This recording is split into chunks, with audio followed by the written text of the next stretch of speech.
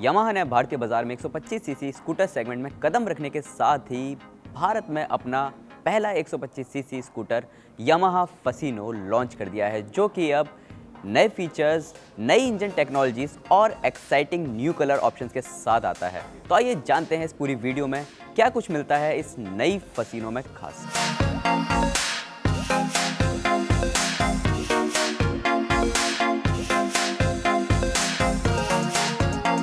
यामा Fascino 125 FI के looks की बात करें तो यहाँ पर कंपनी ने क्लासिक यूरोपियन स्टाइलिंग दी है और फ्रंट में काफ़ी सारे नए एलिमेंट्स भी देखने को मिलते हैं। इसके अलावा कंपनी ने यहाँ पर नई हेडलाइट दी है। साथ ही इस हेडलाइट को जो सराउंडिंग देता है, वो है ग्लॉसी ब्लैक कलर का पेंट इसके साथ ही कंपनी ने यहाँ पर मैट ब्लैक फिनिशिंग भी दी है।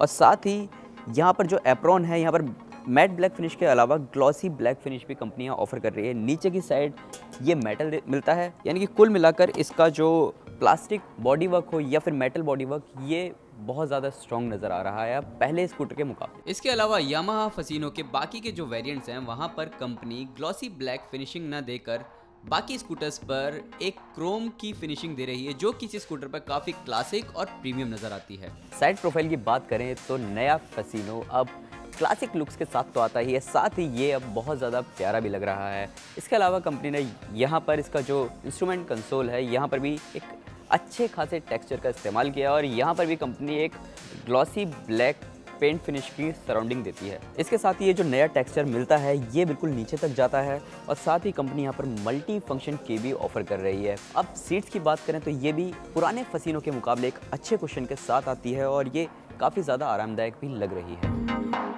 नई फसीनों का रियर लुक की बात करें तो ये भी काफ़ी ज़्यादा फ्रेश और नया लग रहा है और साथ ही ये क्लासिकल टच दे रहा है। इसके अलावा इसमें side stand cut off switch foldable hook और यूएसबी चार्जिंग जैसे फीचर्स भी मिलते हैं। यामा फसीनों के फ्रंट में 190 मिलीमीटर mm का ड्रम ब्रेक या डिस्क ब्रेक चुनने को मिलता है। इसके रियर में आपको ड्रम ब्रेक ही मिलता है। इसके अलावा इसमें आपको 5.2 लीटर का पेट्रोल टैंक मिलता है। इसका कर्व वेट करीब निन्यानवे किलोग्राम है, जो की मौजूदा मॉडल के मुकाबले चार किलोग्राम हल्का है।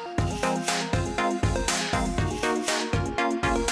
नया फजीनो अब 125 सीसी BS6 कंप्लाइंट इंजन के साथ आता है और ये इंजन 6500 आरपीएम पर करीब 8.2 पीएस की पावर और 5000 आरपीएम पर 9.7 न्यूटन मीटर का टॉर्क जनरेट करता है। कंपनी का कहना है कि ये इंजन अब पुराने वेरिएंट के मुकाबले करीब 30 परसेंट ज़्यादा पावर आउटपुट देता है और साथ ही पुराने वेरियंट के मुकाबले अब 16 परसेंट ज़्यादा माइलेज भी देता है। नई यामा फसीनो 125 FI को कंपनी ने ड्रम और डिस्क दोनों ही वेरियंट्स में लॉन्च किया है, जिसमें इसके बेस मॉडल की कीमत है छियासठ तीस रुपए, जो कि इसके टॉप एंड मॉडल सत्तर हज़ार रुपए तक जाती है। कंपनी का कहना है कि वो इस स्कूटर को लेके उन बॉयज़ और गर्ल्स को टारगेट कर रही है, जो कि 18 से 24 साल तक की उम्र में है और अपनी लाइफस्टाइल को एक फैशनेबल तरीके से जीते हैं।